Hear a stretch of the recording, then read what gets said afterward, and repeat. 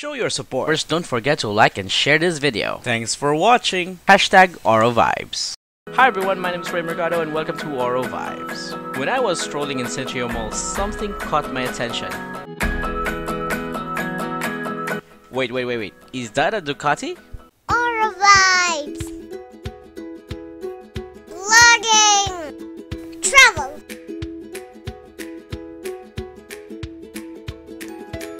You're watching Aura vibes.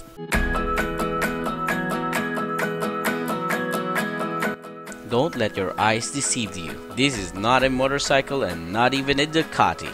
It is parked in a bicycle parking space and who would expect that this ordinary electric bike can be converted into something that looks like a big bike. Ladies and gentlemen, meet Marvin Del Rosario. and welcome to Oro Vibe. So Marvin, tell us about uh, yung design. It's like it looks like a Ducati. So what inspired you to make one? the motorcycles.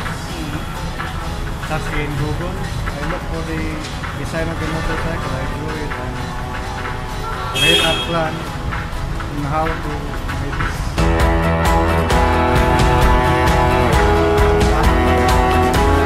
Kung sa gigamit mo na materials ah? One na ni siya, recycled materials, Is this carton or plastic? cardboard, something, styrofoam, such fiber.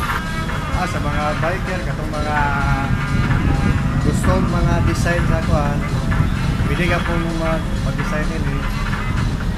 Anytime mo kan, pwede mo mo contact siya sa Facebook. Watching Aura vibes. Like the video. Share the video. Don't forget to like us on Facebook.